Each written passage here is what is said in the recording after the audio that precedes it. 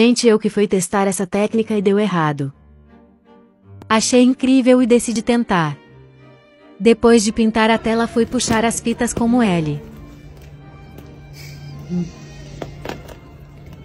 É. Vai gravando. O desespero da gata. Ai, não vai. Elas começaram a arrebentar. É. Aqui, ó. Continuei puxando mesmo assim. Ah, rasgou. Peraí. Estava com medo de estragar a tela. Puxa. Pode parar? Não.